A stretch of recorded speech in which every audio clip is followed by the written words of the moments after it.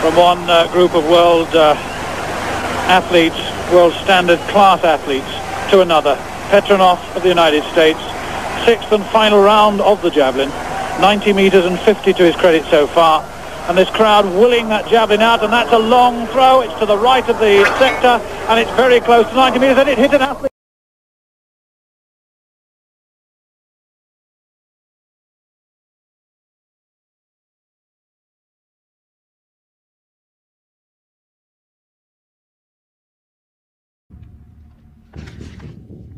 I'll be back.